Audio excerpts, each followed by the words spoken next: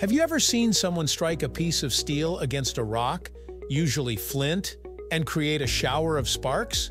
It's a classic survival technique, a staple in outdoor gear tutorials, and honestly, just looks cool. But what's really going on here? Why do certain metals spark when they're struck? Is it just friction? Or is there something more happening on a chemical or physical level?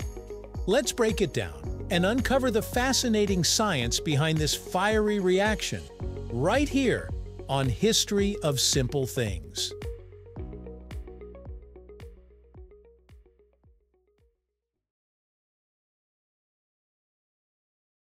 First, let's define what we're seeing when metal strikes stone and produces sparks. Sparks are tiny, incandescent, meaning glowing hot, particles flying off from the struck material. These glowing specks are actually small bits of metal that have been shaved off and heated up so much that they ignite in the air. Yes, you heard that right. Those sparks are burning bits of metal, not just hot from friction, but literally on fire. This is why they glow so brightly and can ignite tinder to start a fire. Let's look at a classic, flint and steel. Flint is a very hard rock, made mostly of quartz. When you strike it against high-carbon steel, it shaves off a small sliver of the metal. But this shaving process doesn't happen gently. The steel is torn away with such force and speed that it heats up instantly, hot enough to reach its ignition temperature. Now, ignition temperature is the point at which a material will spontaneously catch fire in air. For steel, this is around 1,500 degrees Fahrenheit or 800 degrees Celsius. When that tiny piece of steel hits this temperature, it reacts with the oxygen in the air and combusts, forming a spark. Interestingly, the rock itself doesn't produce the spark, the steel does. Flint just acts as the tool to rip off a tiny hot sliver of metal. In fact, you could use other hard rocks besides flint, as long as they're capable of shaving steel in the same way. So why is carbon steel specifically used for this? Why not stainless steel or some other alloy? The answer lies in the composition of the metal. Carbon steel, especially high-carbon varieties, are ideal for creating sparks because the carbon content helps the steel become more brittle and thus easier to shave into tiny sparkable fragments. Additionally, carbon can contribute to the flammability of the steel particles when exposed to oxygen at high temperatures. Stainless steel, on the other hand, contains chromium, which makes it more resistant to corrosion and oxidation. That's great for kitchen knives, but terrible for sparking. Chromium tends to form a protective layer on the metal surface that doesn't ignite easily, and the steel itself is tougher to shave off into hot fragments. A common misconception is that this is all about friction. And while friction does play a role in heating things up, it's not the full picture. What really makes the spark is the combination of mechanical force, heat generation, and chemical reaction with oxygen. Think of it like this. You're forcibly tearing a piece of metal off at high speed. That generates intense localized heat. At the same time, this metal is exposed to oxygen in the air. If the temperature is high enough, combustion kicks in, and that's your spark. It's not the same as rubbing your hands together to get warm. It's more like striking a match, the result of a small, violent, energy-packed event that triggers combustion in the right material. So we know carbon steel sparks. But what about other metals? Metals like titanium, magnesium, and manganese can also produce sparks.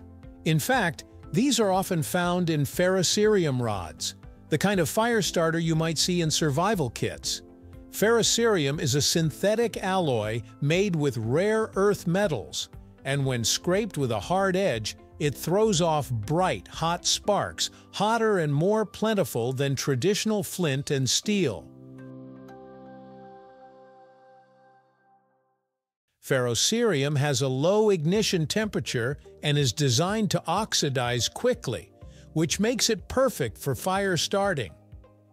You've probably seen someone drag a knife spine across a ferro rod and produce a spark shower intense enough to light damp tinder. On the other hand, metals like copper or aluminum don't spark easily. That's because their ignition temperatures are higher or they don't oxidize quickly enough under these conditions. Some even form protective oxide layers that prevent combustion. That's why you don't see campers carrying around aluminum rods to start fires. The quality of a spark, its brightness, heat, and how long it lasts, depends on several factors. One key factor is the size of the metal piece. If it's too big, it won't get hot enough. If it's too small, it burns out too fast. The speed and force of the strike also matter. A strong hit creates more heat. The type of metal is important too. Metals with more carbon spark better, and metals that oxidize easily ignite more easily. Lastly, oxygen is needed for the spark to catch fire, so getting the right angle and airflow when striking flint and steel is essential. This is why experienced fire makers angle their strikes a certain way to optimize both the heat and the airflow to maximize spark production. You might also notice sparks in industrial settings, like when grinding or cutting metal. Those aren't just pretty visuals, they're often tiny bits of metal oxidizing and burning just like with flint and steel. Grinders can throw off long, curling trails of sparks especially when working with iron or carbon steel. That's a similar process. Material is being abraded off, heating up through friction, and oxidizing in air. Different metals even produce differently shaped sparks, and professionals can sometimes identify a metal just by looking at the shape and color of the sparks it produces. This whole concept isn't new. In fact, humans have been using sparks to light fires for tens of thousands of years. Before matches or lighters, flint and steel were the go-to tools for firemaking. The method was reliable, reusable, and didn't rely on chemicals or fuel. Even today, it's still used in bushcraft, survivalism, and historical reenactments because of its durability and simplicity. It's kind of amazing that this basic principle, hitting the right rock against the right metal, can give you one of the most essential tools for survival, fire.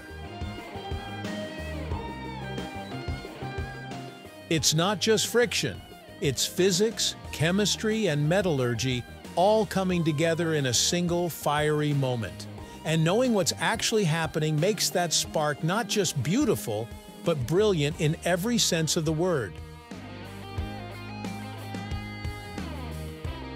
Thank you for watching. If you have suggestions for our next video, feel free to share them in the comments below. We'll be sure to give you an acknowledgement for your contribution. Thank you for joining us on this journey through the history of simple things. Don't forget to like, subscribe, and stay tuned for more stories woven through the smallest details.